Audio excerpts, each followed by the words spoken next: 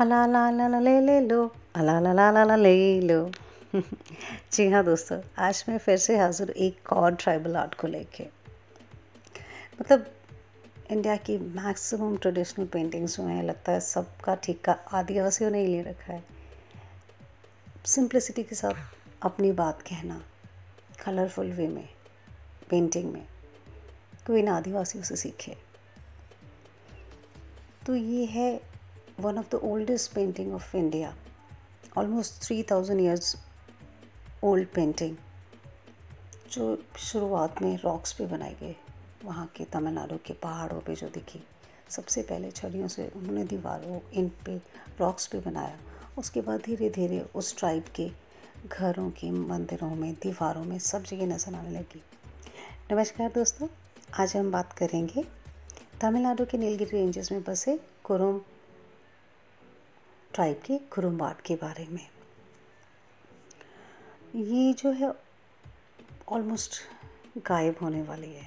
मतलब कोई नहीं करने वाला इसे। अब थोड़े से, बहुत थोड़े से लिमिटेड पीपल आए हैं आगे इसको सीखने और सिखाने के लिए। तो जैसा कि आप देख रहे हैं, इसमें पहले बैकग्राउंड सबसे पहले बैकग्राउंड को कलर करते हैं।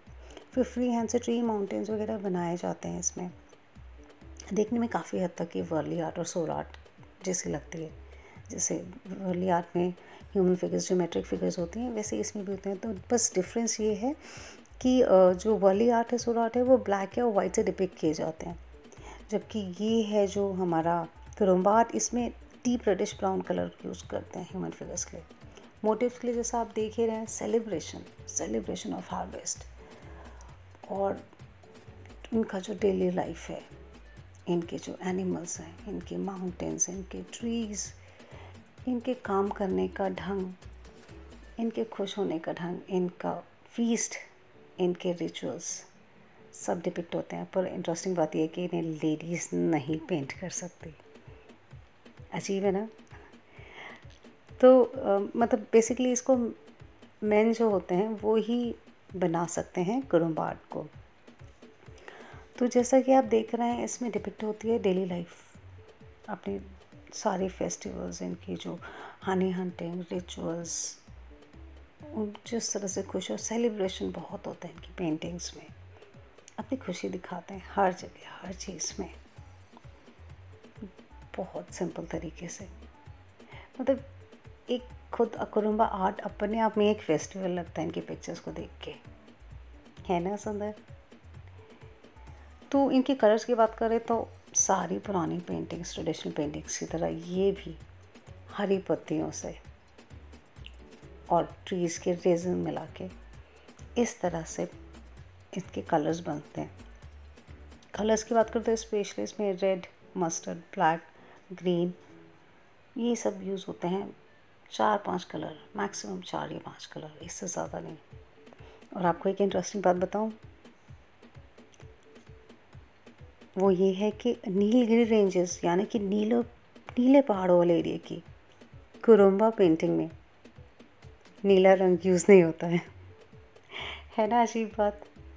मतलब कुरुम्बा आर्ट में ये बेसिकली चार या पाँच कलर्स यूज़ होते हैं, पर ब्लू कलर नहीं यूज़ किया जाता। तो देखा आपने? सीधे बने सादगी से, सच्चाई के साथ। अपनी बात कहने वाली, ये कुरुम्बाट जो नीलगिरी के कुरुम्ब, जो ट्राइब है, वो लोग करते हैं। पर क्योंकि इसमें उनको इनकम नहीं लगी तो पहले तो उन्होंने वो ट्राइब ही छोड़ा, वो नीलगिरी रेंजेस के, वो एरिया छोड़ा, उसके बाद बड़े शहरों में आके बस गए। और ये आर्ट बस गुम होते होते रह गई है, शायद। कुछ और इस पर काम किया जाए। आप और हम जब जानेंगे इन ट्रेडिशनल पेंटिंग्स के बारे में तो शायद इन्हें बचाने के लिए कुछ किया जा सके। आप और हम अगर ऐसी कोई पेंटिंग्स खरीदेंगे तो शायद ट्रेडिशनल पेंटर्स जो कुरुम ट्राइब के जो नई जनरेशन है, शायद वापस इन्हें बनाना शुरू करें। जो भी है, ये सिंप्लिसिटी एलिगेंस के साथ ये ब्यूटीफुल पेंटिंग कम है बहुत देखना अब। कल फिर ऐसी किसी पेंटिंग के साथ मिलूँगी। नमस्कार।